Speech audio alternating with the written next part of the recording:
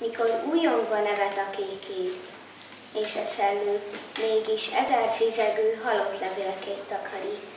A korosztályukhoz mérten komolyabb verseket is hallhattunk az általános iskolás versenyzőktől a Gida Jenő szavaló versenyen Szexárdon a katolikus plébánia közösségi házában szombaton.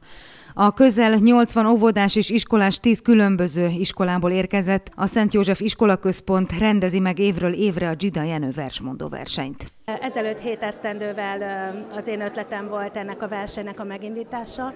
Igazából az volt, kettős célom volt, az egyik az, hogy ezt az adventi időszakot, ami a mi iskolánkban egy kiemelten nagyon fontos és különös hangulatot árasztó időszak, azt még egy picit emeljük azzal, hogy a, hogy a gyerekek adventhez, a hithez, illetve magához karácsonyhoz kapcsolódó verseket hoznak. A másik cél, hogy a gyerekek objektív értékelést kapjanak a teljesítményükről, ezért hívnak a zsűri elnökének valamilyen országos hírű színészt évről évre. Három évvel ezelőtt láthattuk először Szexárdon Mikó István Jászai Mari Díjas színművészt a zsűri elnökeként. A felkérésnek idén is örömmel tett eleget, mint mondta.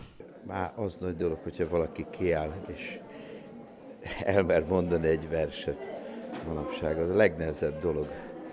Az, és hogyha még valakinek az is sikerül, hogy pontosan, érthetően, értelmesen és szépen beszél, nyilván annak több esélye van, de mindenki, aki itt volt, nagyon helyes és nagyon, nagyon szép dolog ez, hogy vállalkoztak erre.